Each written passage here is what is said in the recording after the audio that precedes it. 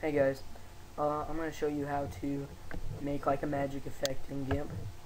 I've seen it in Photoshop and I wanted to show you how to do it in GIMP because it's actually kind of hard to figure out. It took me a couple times to figure it out, but I, I think I got it. okay, what you're going to do is make a new layer over top of your background image. Make sure it's transparent and click OK. Take your paths tool and just make a sorry. Make a line. Just click and then make another line and drag it.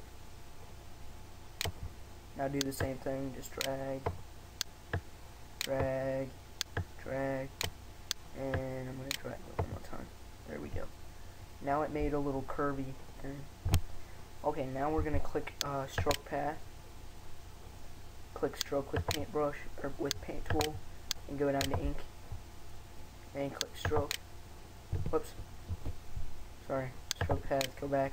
Click Emulate brush dynamics and click click stroke. Now, uh, crap. Sorry.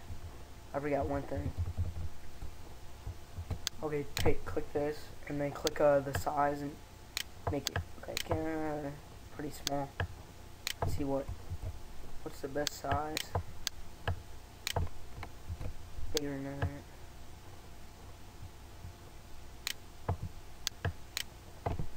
Smaller.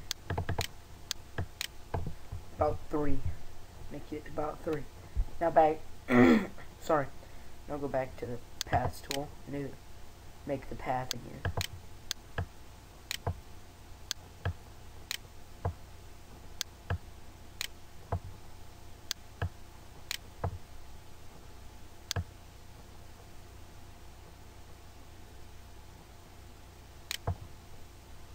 That's good.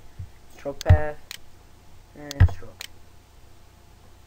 Now click uh just take your eraser and erase every other line like the top. Now erase the bottom this one right here. Leave this and erase this one. So it looks like it wraps around it.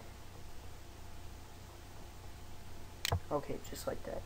Now what we're going to do is we're going to right click, uh, alpha, no, not alpha selection, never mind, select none, filters, blur, Gaussian blur, blur it by 2, click OK.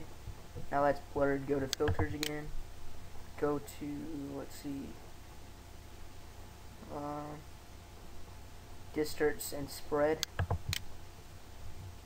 and spread it by about five. Just keep, yeah, keep it default. Work okay. Now we're gonna no, actually, whoops. Duplicate that layer before you do that, and now take the top layer, filters, noise, spread. Click OK. Now it does. Now it looks good. You can change it however you want, but uh. I think this looks pretty good. I don't know. You can make the the little magic effect however you want. That's the way I like it. Just like this, wrap around, like this, wrap around. So just remember to erase every, ugh, sorry, erase every other line. And then remember, you gotta make two letters. One's just regular blurred, and one of them's spreaded by five pixels. Well, actually, it determ it actually matters how big the image is. Mine's just a regular old icon, so it's not really to change too much. Well, anyways, change it back to 100%. Well, actually, you know what? It'd actually be better if you erased, like, so it doesn't cover up the words. So, I'm, yeah, I'm to do this. Now I'm to see what that looks like filters, border, Gaussian border to duplicate, filters, noise, spread. Okay. Yeah, that actually looks a little bit better.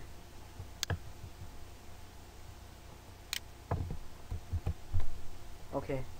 Talk to you guys later. Bye. Uh, crap. I don't know the hotkeys on Camtasia yet. Need to figure them out. Bye.